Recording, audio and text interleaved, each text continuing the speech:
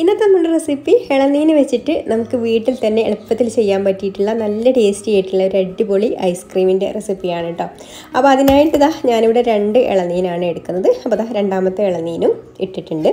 ഇനി ഇതൊന്ന് വെട്ടിയിട്ട് ഇതിലെ വെള്ളമൊക്കെ ഒന്ന് മാറ്റിയതിന് ശേഷം നമുക്ക് ഇതുപോലെ രണ്ടായിട്ട് മുറിച്ചിട്ട് ഇതിന്റെ ഉള്ളിലുള്ള ഒരു കഴമ്പൊക്കെ എടുത്ത് മാറ്റണം. പിളനീനൊക്കെ നല്ല കറക്റ്റ് പരുവത്തിൽ തന്നെയാണ് കേട്ടോ.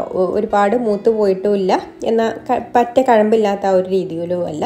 നല്ല കറക്റ്റ് പരുവത്തിൽ തന്നെയാണ്.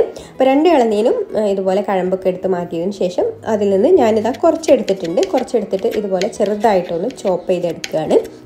ഇത് ചോപ്പ് ചെയ്യുന്നത് കുറച്ച് മതി കേട്ടോ ഇടയിലൊന്ന് കടിക്കാൻ വേണ്ടിയിട്ടാണ്. അപ്പോൾ അത് നമുക്ക് ഈ ഒരു ബൗളിലേക്ക് മാറ്റാം. പിന്നെ നിങ്ങൾക്ക് ഈ വീഡിയോ കണ്ടുകൊണ്ടിരിക്കുന്ന സമയത്ത് ഇഷ്ടമാണെന്നുണ്ടെങ്കിൽ ഒന്ന് ലൈക്ക് ചെയ്യാൻ മറക്കരുത്. അപ്പോൾ അതാ ബാക്കിയുള്ള ഇളതിന്റെ പീസ് ഇതാ ഞാനിവിടെ മിക്സിയുടെ ചെറിയ ജാർ എടുത്തിട്ടുണ്ട്. അതിലേക്ക് ഇട്ട് കൊടുത്തിട്ട് അതൊന്ന് നന്നായിട്ട് നല്ല രീതിയിൽ തന്നെ അരച്ചെടുക്കാം. അപ്പോൾ അത് അരച്ചെടുത്തിട്ടുണ്ട് കേട്ടോ ഇനി നമ്മൾ ഒരു കപ്പ് വിപ്പിംഗ് ക്രീമാണ് കേട്ടോ എടുത്തിട്ടുള്ളത്. അത് നമുക്ക് ഈ ഒരു ബൗളിലേക്ക് ഒഴിച്ചു കൊടുക്കാം. എന്നിട്ട് ഒന്ന് ബീറ്റ് ചെയ്ത് കൊടുക്കാം. ഒരുപാട് നേരം ബീറ്റ് ചെയ്തെടുക്കണ്ട നമ്മൾ കേക്കിനൊന്നും ക്രീം അടിച്ചെടുക്കുന്നത് പോലെ അത്രയ്ക്ക് വേണ്ട കേട്ടോ കുറച്ചൊരു ലൂസായിട്ട് മതി. അപ്പോൾ ഇതുപോലെ അടിച്ചെടുത്തതിന് ശേഷം നമുക്കിതിലേക്ക് മധുരത്തിന് ആവശ്യമായിട്ടുള്ള മിൽക്ക് മെയ്ഡ് ചേർത്ത് കൊടുക്കാം. എന്നിട്ട് ഒന്നും കൂടെ ബീറ്റ് ചെയ്തെടുക്കാം. ഒന്ന് ജസ്റ്റ് ഒന്ന് അടിച്ചെടുത്താൽ മതി കേട്ടോ അതിനുശേഷം നമുക്ക് നമ്മൾ അരച്ച് വെച്ചിട്ടുള്ള ആ ഒരു ഇളനീരിന്റെ പഴുപ്പും കൂടെ ചേർത്ത് കൊടുത്തിട്ട് മിക്സ് ചെയ്ത് കൊടുക്കാം. എന്നിട്ട് ഇതാ നമ്മൾ ഇതുപോലൊരു ഒരു ട്രേയിലാണ് കേട്ടോ സെറ്റ് ചെയ്യുന്നത്. അപ്പോൾ അതിലേക്ക് മാറ്റിയതിന് ശേഷം മുകൾ ഭാഗമൊക്കെ ഒന്ന് ലെവൽ ചെയ്ത് കൊടുക്കാം.